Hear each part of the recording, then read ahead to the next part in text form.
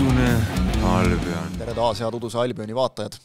Inglismaal on mängitud ja väravaid löödud ennekõike nädalavahetusel, nii et äh, küll saab ja taas on meil õnneks ka selline nädal, kus esmaspäeval ühtegi mängu ei ole, nii et äh, näiteks eelmisel nädalal äh, jälle oli probleem, et esmaspäeva õhtune mäng, mis justkui paberil oli selline suhteliselt igav ja võib-olla teise kategooria oma, seal oli jälle väga palju pärast rääkida kohtunikest ja kõigest muust. aga kohtunikest ja kõigest muust saame rääkida ka nüüd, sellepärast et me vist hakkame tagantpoolt ettepoole minema, kuna nagu ikka, Premier League oskas jätta kõige põnevama mängu kõige viimaseks pühapäeva õhtuks, ehk siis Manchester City ja Tottenhami kohtumine, aga Kangur ja Järvela ei ole stuudios ja hakkame siis vist sellest viimasest minema, et et, et võtmemäng ta ju nagu oli ja, ja eks ta oli ka lõpuks. Jaa, enne, enne kui mängu juurde läheme, kolmkümmend kaheksa väravat Vuruga väga hea, sa lugesid kokku. kümme mäng, kolmkümmend kaheksa väravat. ma just mõtlesin, kas ma hakkan lugema, aga jaa, kolm koma kaheksa per mäng. kusjuures oleme... meil on sees siin kaks üks-nulli näiteks jah, jah, me oleme ikkagi harjunud, noh, jalgpallimängu keskmine väravate arv siin noh, aegade jooksul ta natukene muutub, jääb kahe poole ja kolme vahele, noh mm, -hmm. kui on halvad aastad, on alla kahe poole. praegu me nägime siis selles voorus kolm koma kaheksa ja no ausalt öelda, ja, ja kusjuures ainult üks mäng oli mammutskoor mm -hmm. Burnley Sheffield United viis-null. mitte ühtegi teist enam kui kaheväravalist marginaali ei olnud no ja ärme unustame. ainult üks kaheväravaline margina-, marginaal veel oligi, Brentford, Luton kolm-üks, ülejäänud kõik olid kas viigid või üheväravad võidud.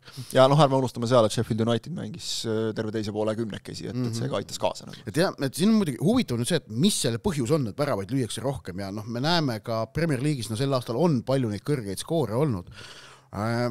miks, miks meeskonnad ei kaitse?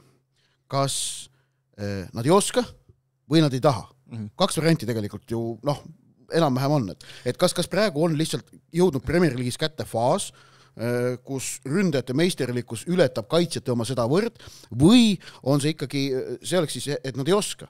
Äh, teine variant, et nad ei taha, on see, et võistkondade hoiakud ongi sedavõrd ründavad, et äh, et lihtsalt kaitses tehakse ohverdusi ja see viib meid omakorda Tottenhamini sellepärast, et kui on võistkond, kes mängib julgelt ja, ja äh, eelistab äh, põnevat rünnakut kindlale kaitsele, siis noh, Tottenham Ange Postecoglou käe all kahtlemata seda endas kujutab. Just, noh ja seda nagu eeldada, et nad nüüd ei, ei oska Premier League'i mängijatest vist on natukene nagu ülekohtune, et et kui sa nüüd ikkagi vaatad, siis sinna noh, okei okay,, on, on ka neid võistkondi, kus mängivad sul kaitses mehed, kelle puhul kas või äärekaitses näiteks, eks ole, ei olegi kõige tähtsam see, et, et kuidas ta seal tagalas hakkama saab, vaid ikkagi see, et ta rünnakut toetaks äh, kasutatakse seal igasuguseid mängijaid, eks ole, aga, aga, aga mulle tundub, et see on ikka üldine suundumus, et, et võib-olla ma eksin, aga minule tundub, et see sai nagu mingi, mingi pöördepunkt oli see koroonaaeg, kus nagu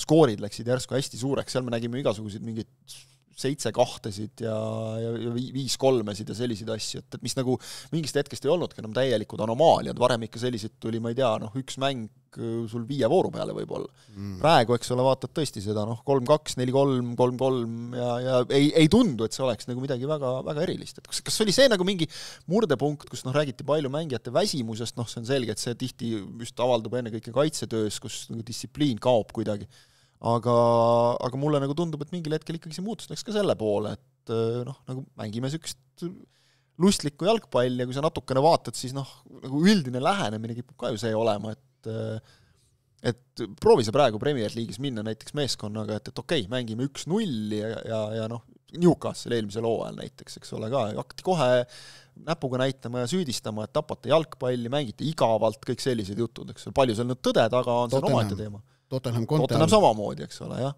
et, et või noh, võta Chelsea ja Murillo, eks ole, ja, ja kõik, no üldse kõik Murillo meeskonnad, eks ole. see on igav, see on nüri. toona oli aeg teine veel. jaa, aga isegi toona... siis juba tänitati, eks ole, selle, selle kallal natukene.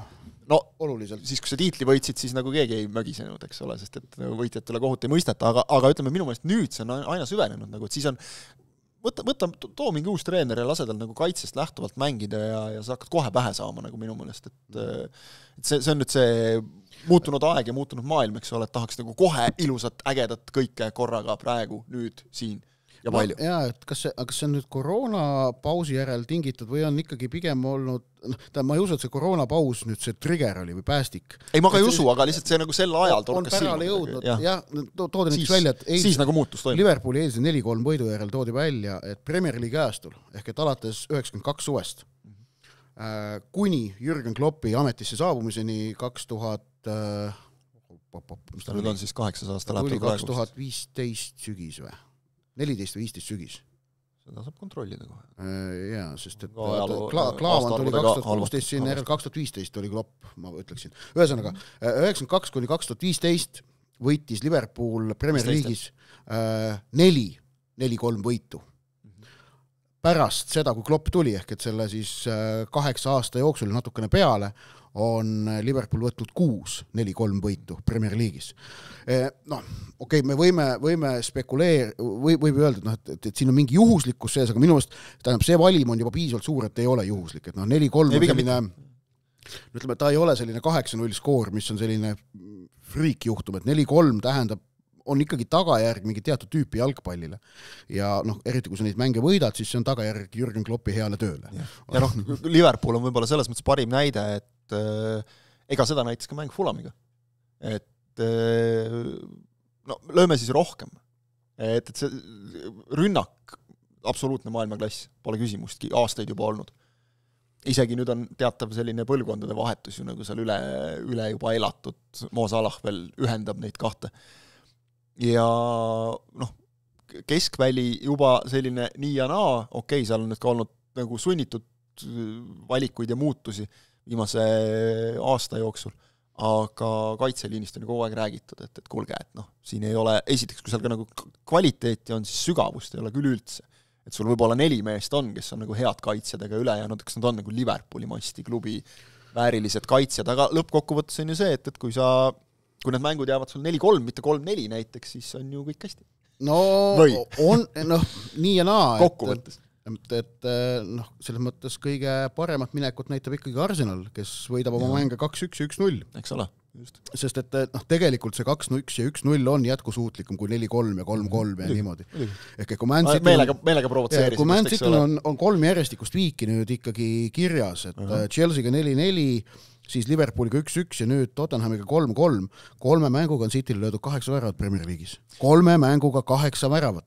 see ja on, ja tulemus on see, et, et viimati oli neil liigas äh, üle kahe kaotuse järjest, siis oli neil küll neli, või tähendab üle kahe võiduta mängu järjest, mitte, mitte kaotus, siis neil oli ka nii, et oli kolm viiki ja, ja siis tuli üks kaotus veel sinna otsa, nii et mäng Aston Villaga, mis nüüd nädala sees, ees ootab, selles mõttes huvitav kindlasti. et, et see oli aastal kaks tuhat seitseteist. Et, et vahepeal, vahepeal on ikkagi ka, ega City suutis ka vahepeal võita neid selliseid, võtta neid selliseid koledaid kaks-null võite, mm kui nad meistriks siin tulid, aga et praegu neil on natuke see asi lahtisem, aga sul on õigus jah, kolme mänguga kaheksa tükki, et see ei ole hea. miks on lahtisem, on, on ikkagi võimalik siin natukene näppu peale panna teatud konkreetsetele mängija, mängija küsimustele, ehk Mhm. et Ilkay Gündogani lahkumine FC Barcelonasse, Mhm. Kevin De Bruyne vigastus, John Stonesi vigastus. no Stonesi just eriti seal kolm- kaitsefaasis nagu hinnatakse kõige olulisemaks., aga need kõik kolm mängijat on ju säärased, De Bruyne kusjuures kõige vähem, aga eriti Gündogan ja ka, ja ka Stones, kes äh, annavad ja tagavad kontrolli Mhm. See on see, mida praegu Manchester City mängus on vähe. me, seda me nägime selles neli-neli mängus, me nägime ka eile, et Man City ei suuda enam mänge niivõrd kindlalt kontrollida. ja sellest me rääkisime siin alles ka ju sinuga ühes saade või kaks Just. tagasi, eks ole, Jeremy Doku rollist ja kõigest sellest, aga aga eilne mäng on ju ka, oli selline, et väga vähe oli selles mängus perioode, kus, kus oli nagu tunda, et see mäng on City kontrolli all tõesti. just, ja, ja nüüd äh, seesama, see neli-neli Chelsea'ga, kusjuures jaa, et neil on kolme mänguga löödud kaheksa, aga hooaja esimese üheteistkümnega löödi ka ainult kaheksa, ehk et siin on nagu näha ka nüüd mingit äkki isegi süsteemsemat probleemi, aga kahtlemata see neli-neli mäng tõstis ka kõikide võistkondade usku, et Manchester City lahtikraapimine on ikkagi võimalik. Ja ilmselt äh, nüüd see iga järgmine juhtum äh, on, on selline tänuväärne näide, mille pealt saavad teised õppida ja, ja noh, mõelda, kuidas siis seda kõike teha, et, et selles mõttes, heas mõttes nagu iga iga Man City'le löödud värav või iga neilt nagu röövitud punkt on põhimõtteliselt nagu noh, arstiteaduse hüvanguks äh, annetatud surnukeha, et mida, mida siis tudengid saavad sonkida, et, et õppida, kuidas, kuidas seal täpselt inimkeha sees kõik on, noh. no tegelikult imekaunis võrdlus esmaspäeva hommikus. ikka saab, ikka saab, on ju. aga ma vaatasin praegu lihtsalt väike formaliinilõhn siia. absoluutselt, muidugi. natuke formaliini, see on alati hea. ma vaatan praegu tabelisse lihtsalt, et äh, löödud väravate arv Äh, Arsenalil kakskümmend üheksa, sellest rohkem on Liverpoolil, Man Cityl, äh, Aston Villal, äh, Newcastle'il, Brightonil, kes on siis kuues ja, ja kaheksas vastavalt. aga endale lastud, Arsenal kõige parem, üksteist neljateist vooruga üksteist, see on päris kõva sõna, järgmised ja, on neljateistkümne peal. ja väravate vahe pluss kaheksateist on nii Arsenalil, Liverpoolil kui Newcastle'il ja Man Cityl pluss kakskümmend, tegelikult samasse auku kõik mm. -hmm. et keegi ei ole eest ära tõmmanud ja, ja noh, ma selles asjas ma ütlen endiselt, Arsenalil on kõige rohkem põhjust endaga rahul olla. sellepärast, et nende mängud on praegu kõige paremini kontrolli all no neil oli natukene Woolsi vastu nüüd, eks ole, selle mängu lõpu nagu vormistamisega raskusi, aga väga-väga pikalt, nad alustasid kiirelt kaks tükki kohe ära ja, ja, ja siis oli väga kaua kontrolli all, noh. vaatame protokolli, vaatame, noh, kaks-üks. jah no., ei, ongi lõpuks, eks ole, natuke läks lõpus nagu ärevaks, aga noh mm., seda nüüd eeldada, et sa Premier League'is nagu võidad nii, et sul üldse ärevaks ei lähe no,, see no, ka võib-olla palju. küsimus on see, kas, kas olukorras, kus läheb ärevaks, kas sa tuled sealt välja võitjana just, või mitte. ja praegu näeme, et Arsenal on ikkagi tulnud, tuli Brentfordi vastu, tuli nüüd Woolsi vastu, aga Liverpool seekord, seekord tuli, äh, sorry, ja aga Man City pole tulnud. et, et see on, see on see, see on see asjade äh, seis siis praeguses olukorras. ja Man City puhul veel, et, et, et, et noh, ka mingisugused kaitsjate isiklikud eksimused on hakanud mängu sisse tulema, mis on nagu mõnevõrra ootamatu, ehk et noh, kokkuvõttes sellel võistkonnal ei ole praegu sellist kindlust, nagu neil oli mullu. aga tuleb muidugi meenutada, et see standard, mille nad mullu ette panid, oli tohutult kõrge. ja no me räägime, eks ole, et, et ei ole praegu kindlust, aga vaatame, kuidas neil läheb meistrite liigas, vaatame seda, et nad on tegelikult kolme punkti kaugusel praegu äh, liidrist Arsenalist, et noh samas see meistrite liiga mäng, kus nad esimese poole mängisid kohutavalt halvasti mm -hmm. ja teisel võitsid, ähm, teisega võitsid kolm-kaks, on ka natukene sümptomaatiline no. Man City kohta sel hooajal. ehk et nad on suutelised, noh, kui nad panevad endal gaasi põhja, on nad väga head, aga nad suudavad ka asju ära käkkida, mida Peep Guardiola ise veel välja tõi äh,, asjaolu, et nad äh, et nad tegelikult ei võimalda vastasele teab mis palju väravavõimalusi, aga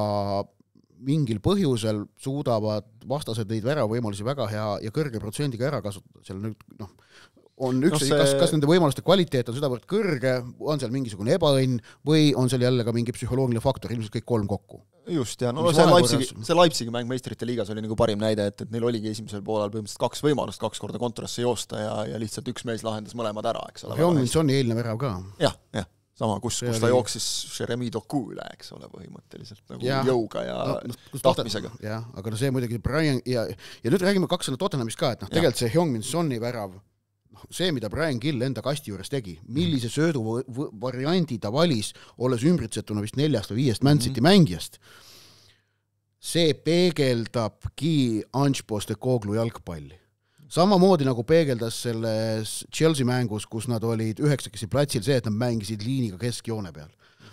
ja lihtsalt mängivadki niimoodi mm. -hmm. ja, ja siin me näeme siis ka, et et just, et siin on, on plussid ja miinused, et äh, see julgus tõi neile üks-null värava tõi tegelikult ka kolm-kolm värava, ka seal oli päris selliseid julgeid lahendusi selle rünnaku käigus, samas äh, see julgus maksis neile äh, City kolm-kaks juhtvärava, kus, kus nad noh, riskisid liialt, see risk lõigati läbi ja sealt äh, Grealish lõi värava.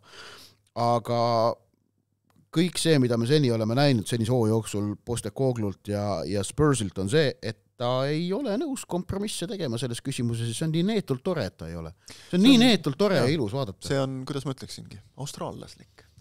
Natukene, et olen nagu olen ja kui teile ei meeldi, noh, mis ma teha saan? Yeah.. ja see tegelikult mulle tundub, et see nagu võiks olla aga noh, eks klubid, eks klubid otsivad nagu ikka mingit oma, oma nagu rolli ka natukene ja Tottenham on olnud alati see selline Nad on ju, paljude jaoks on see oma lemmiku järel teine võistkond, kes meeldib mis samas nagu alati näitab seda ka, et, et noh, järelikult neid nagu väga mingiks rivaaliks ka ei peeta mm. -hmm. noh, vana hea klassikaline Lads It's Tottenham ja nii edasi, eks ole, aga, aga mulle tundub, et see, see võiks neile nagu Äh, väga sobida, eriti sel hooajal. aga noh, sellest me oleme rääkinud ja eks vaatame nüüd, neil on nüüd neli mängu võiduta, et, et okei okay,, see viik oli nende jaoks väga oluline kolme kaotuse järel, et ja. mingi eneseusk tagasi saada, eriti arvestades, kui palju neil on vigastustega probleeme, aga aga eks nad peavad nüüd mingil hetkel jälle võitma ka hakkama, aga noh, olgem ausad, et vastased on ka keerulised. enne jõule West Ham kodus, Newcastle kodus, Forest võõrsil, Everton võõrsil, vabandust, Everton kodus mm -hmm. noh, Newcastle kodus on, on ütleme noh, potentsiaalne viik, on ju, ütleme nii, et aga kui neist neljast mängust äh, kümme punkti võtaks, ei tundu nagu võimatu, siis on kõik väga hästi ähm,. aga no West Ham on ka keeruline vastane ikkagi. no, ja, no, no kõik on keerulised ja, okei okay,, Everton samuti. aga, aga ütleme jah, et, et noh, ja isegi praeguses seisus, et nagu viies koht, esimesest kohast kuus punkti praegu ainult, et ma arvan, et kui oleks nagu hooaja eel antud neljateistkümne vooru järel selline seis, oleks kõik vastu võtnud Spursis rahumeeli. mäletad, nädal aega tagasi rääkisime Man Unitedist sama asi, et pole hullu, et ja, ku, kuus punkti tegelikult esikohast, aga noh, siin, mis vahepeal juhtunud no, vahepeal on? jah, juhtus mitu asja aga räägime neist ka natukene siis sellepärast, et äh, nemad kaotasid Newcastle'ile ja, ja noh, tegelikult on meil, oli üks lugeja küsimus, ma vaatan, kuidas see sõnastus täpselt oli, sest sõnastus oli hea kas Manchester United saab ennast üldse käima, küsib Jack. et no, Gary, äh, Neville ütles, et mis on üldse temal on kopp ees. millal? aga United selles mõttes, jah, aga ongi, ma mõistan täiesti, sellepärast et äh, kuskilt toodi välja statistika, et äh, mitte siin heliku vastu, vaid noh, niivõrd-kuivõrd me saame üldse mingist nelikust enam rääkida, see on selline ajalooline relikt juba natukene Inglismaa jalgpallis, aga isegi kaheksa meeskondade vastu võõrsil suutis äh, Manchester United viimati võita kaks aastat tagasi. aastanumber oli kaks tuhat kakskümmend üks sügisel Tottenhami vastu. ehk äh, kui kodus veel kuidagi saadakse nagu hädapärast hakkama ja vahel noh, on siin suudetud isegi ka keh-, kehvadel hooaegadel isegi siin Cityt üllatada näiteks ja, ja teha mingisuguseid trikke, siis äh, võõrsil ikkagi on noh, suured probleemid ja, ja tehti jälle hea kokkuvõte ka, et Newcastle United, nagu näitas ka see mäng, ja mitte ainult see mäng, vaid nagu on näidanud juba see hooaeg ja osa eelmistki, on kõike seda, mida Manchester United tahaks olla, ehk neil on ka raha, tegelikult Manchester Unitedil hoolimata kõikidest oma omaniku probleemidest, raha on probleem ei ole olnud selles, et raha ei oleks, probleem on olnud selles, kuidas seda raha kasutatakse mm. -hmm. ja Anthony, sada miljonit. noh, näiteks, eks et okei okay,, seal on Manchester United, võib alati nagu öelda, et, et aga meil on see, meie see Manchester Unitedi koefitsient, et küsitakse rohkem, no aga mis te arvate, et Newcastle'it ei küsita, kui teatakse, et rahakott on põhjatu.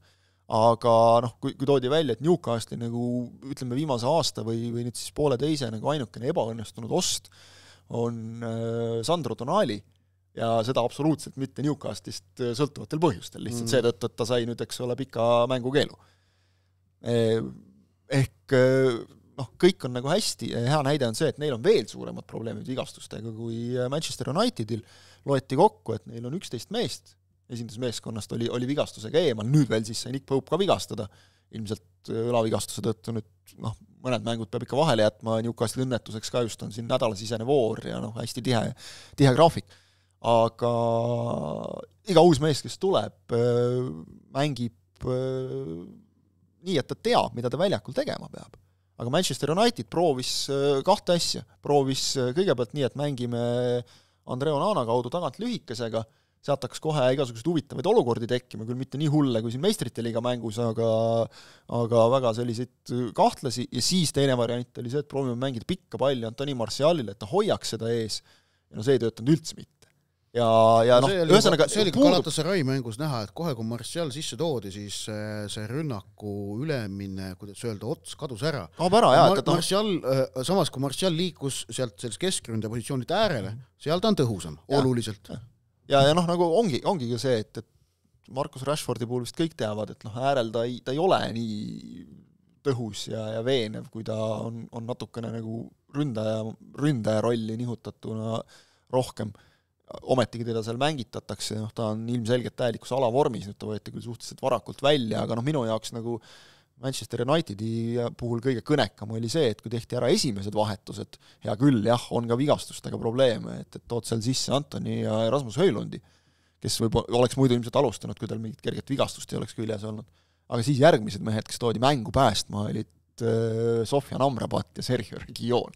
et noh, see, see nagu ütleb ära kõik, et, et sul ei ole sealt midagi võtta, et noh, mingeid positiivseid hetki on, noh kas või näiteks noor Kobe Mainu keskväljal või, või noh, see, et äh, Harry Maguire ikkagi juba, kui vana parlamendis juba peremehed seal vabandavad, eks ole, siis ikkagi meenutab nagu mängumeest täiesti juba jälle, aga aga nagu noh, mängijatest võime rääkida ükshaaval, aga meeskonda ei ole ja, ja kas seda nüüd, kui pooleteise aastaga ei ole suutnud Den Haag äh, nagu meeskonda luua, noh, minu meelest see tuli ka, kas tuli see Neville'ilt äh, või, või kelleltki muult, et, et noh, sa nagu näed, et, et need mehed ei, ei mängi selle meeskonna nimel. kogenud mängumehed nagu näevad selle ära ja ma arvan, et neil on nagu õigus seda öelda ka, et, et noh, kas tulevad nagu sellest ajastust, kus individuaalselt noh, seesama Gary Neville ei olnud ju midagi erilist, aga korvas, ma ütlen leebelt praegu, aga korvas selle suhtumise ja just nimelt meeskondlikkusega, eks ole. et äh, jah, selles plaanis noh, esikümne koha, ütleme seal isegi võib-olla esi niisuguse kaheksa koha tohutu õnne, õnnestumise korral isegi kuuiku koha peale Manchester United võib mängida küll.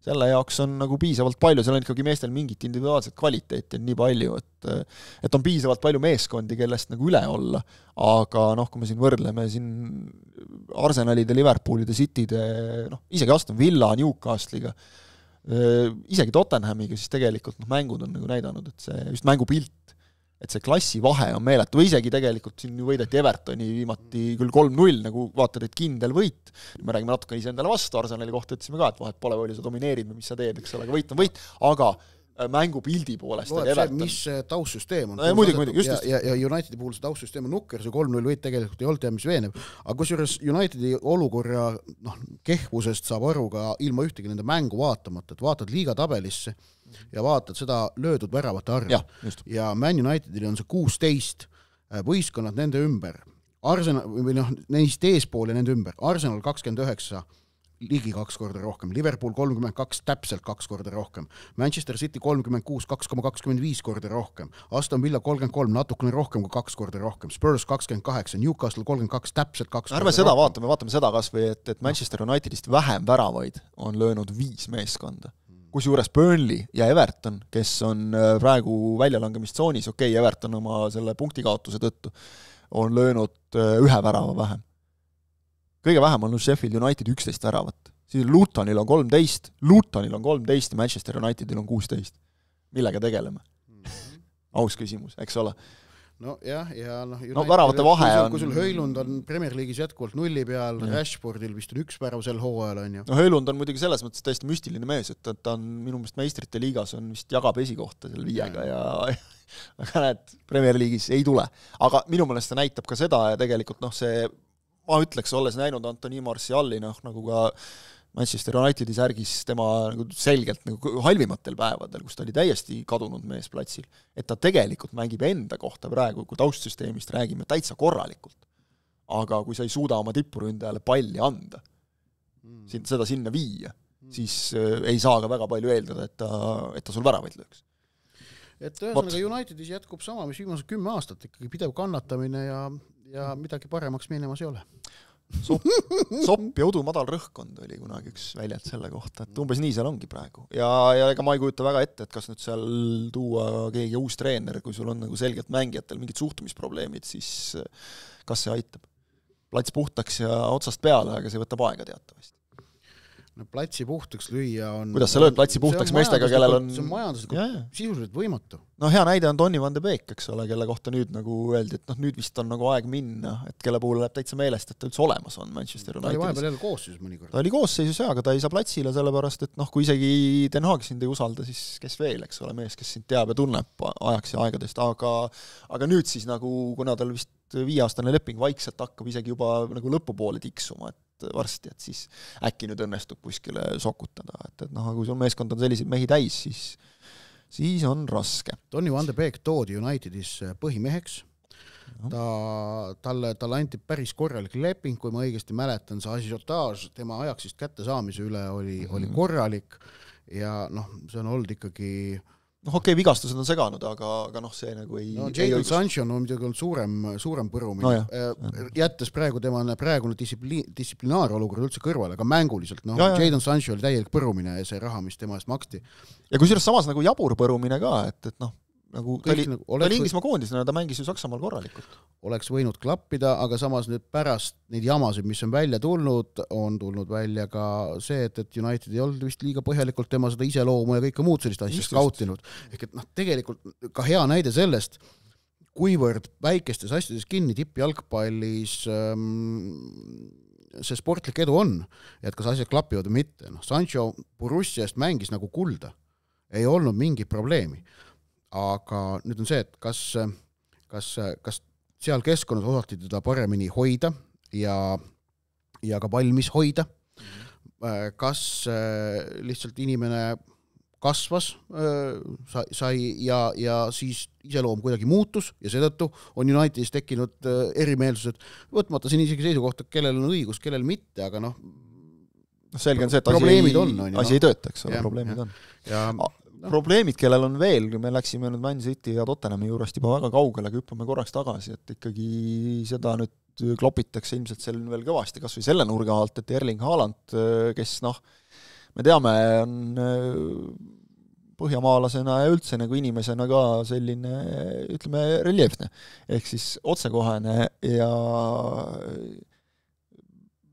noh, oli juba telepildist näha, et Äh, kes siis nüüd ei jälginud seda ja ei ole kursis, äh, Man Cityl oli päris mängu lõpus võimalus, kus Haalandile tehti keskväljal viga, nad läksid vastu rünnakule. Haalandile tehti viga, Haaland oli nagu Haaland ikka, et noh, ta nagu väga vist ei tundnud, et talle jalgadesse löödi, oli kohe püsti, söötis palli edasi, söötis Jack Grealishile, kes tormas kaitsjate vahelt rünnakule, sai juba sealt kaitsjate vahelt jooksu, oli teel värava suunas palliga ja siis kõlas kohtunik Simon Hooperi vile mille peale Erling Haaland tegi väga palju väga koledaid nägusid, millest on väga palju väga toredaid pilte nüüd. aga Haalandi kollane kaart tuleks muidugi tühistada. nojah, eks ta seal läks muidugi võib-olla natukene noh no,, üle piiri, aga see selleks, seda, oota, seda arutavad, seda arutavad teised, kui sa kohtunikule karjud F, off ja, ja neid asju, siis noh, seal on ka mis asi on üle piiri minek ikkagi? no jätame selle, ma tean, ma tean, sulle ei meeldi see, ma tean. kohtunikud on... ikkagi, no absoluutselt, ei miks ei ole tulnud Howard Webb praegu öelnud, Simon Hooper Howard tegi Webb, ränga vea? Howard Webbiga on see, et, et tal on, äh, selle üle visati juba eile nalja, et, et Howard Webbil on, on äh, igal pühapäeval on see, et jälle pean esmaspäeval panema kalendrisse kolm tundi, kus ma helistan läbi kõiki klubisid, kellele on nädalavahetuse jooksul liiga tehtud ja okay. vabandan. ei, ei, aga ma räägin natuke üldimast trendist. nagu Jüri Ratas, kes vabandab. miks, miks ei tulnud kolmapäeva hommikul Roberto Rossetti, UEFA kohtunike boss no., välja ja öelnud, et, äh, et Poola kohtunikud tegid suure vea ja Newcastle Unitedile tehti liiga.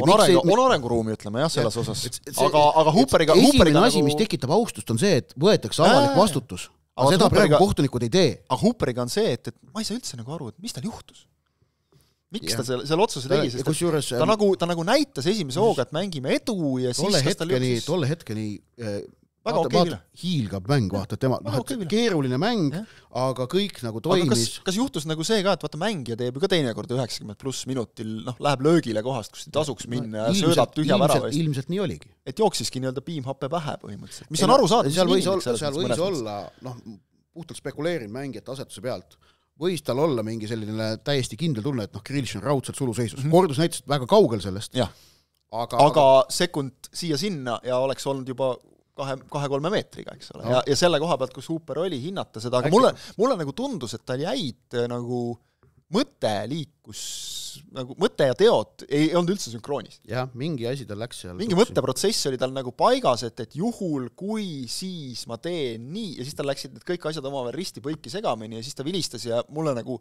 ma nüüd tõesti leiutan, ma ei ole ka mingi inimhingede ega kehakeele ekspert, aga aga mulle nagu tundus, et kui ta ära vilistas, siis tal oli endal oli nägu peas niisugune, et oota, miks ma vilistasin praegu. seal üks asi, mul praegu torkas pähe, üks võimalus on veel ähm,. kohtunikele soovitatakse väga, et kui on teine kollane kaart, siis mitte mingil juhul edu mängida äh, ei olnud, võimalik, et tal läks Võib-olla, sassi, võimalik, et tal Jah, oli peas see, et jah. oota, see on teise Just. kollase koht, et ma saan kohe kollase-punase ära anda, äkki sellepärast tahtis ära vilistada.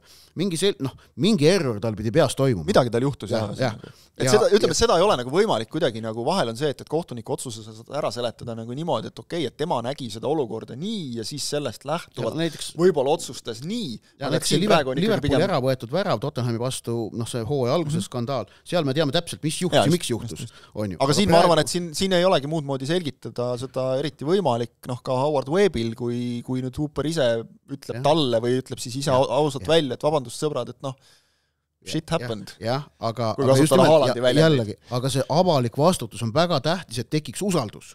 Ja, ja, muud moodi pole võimalik. et noh, ütleme sinnapoole nagu natuke liigutakse, aga, aga et noh, eks ma saan aru, et, et kohtunikud nagu tunnetavad ennast ka sellise nii-öelda ühtse meeskonnana, siis tahetakse nagu omasid kaitsta, aga siis jookseb see plaan väga kiiresti liiva, see, et, et oleme nüüd nagu avatud ja selgitame, et nii kui sa hakkad seal noh, nagu õigustama vale otsust, siis on kohe ju seesama, see loodud, mis isegi võib-olla ongi loodud juba, see, see usaldus, see jälle laguneb laiali kuidagi.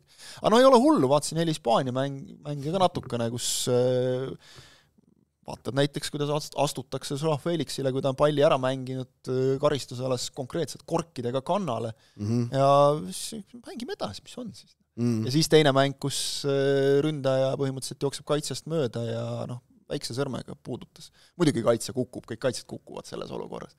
ja Varr vaatas veel üle ja kõik viga ja ei loe see värav ja unustage ära, üks-üks. Villarreali Mm. mäng oli see. Mm. ehk et noh, saab nagu alati hullemini ka, et ja, ja, Hispaanias mind nagu alati paneb kukalt kratsima, et mis see nüüd siis nagu siis niimoodi kust te siis nagu sellise otsuseni jõudsite või et et nüüd näiteks Varr nagu üldse pikalt ei uuri, vaid läheb aga mäng edasi ja kõik selline, et, et noh, ma ei ütle, et see on nagu parem või halvem kui Inglismaal, aga et igal pool omad hädad, et see on ja siis saavad need kõik need võistkonnad meistrite liigas kokku ja siis on puder ja kapsad, eks ole, mis on käsi, mis ei ole käsi ja nii edasi.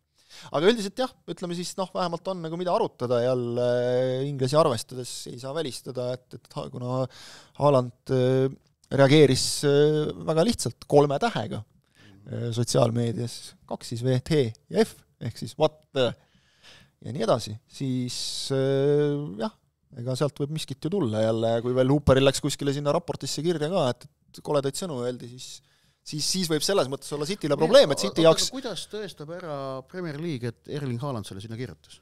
vot see on hea küsimus. Ma arvan, vot see, see, vot see on ka mängijate sotsiaalmeedia käitumine. muide, kui arvestades, kui paljudel mängijatel on eraldi inimesed, kes nagu teevad nende eest sotsiaalmeediat, noh, Haaland oli, Haaland kindlasti teeb seda ise, nagu see on selge.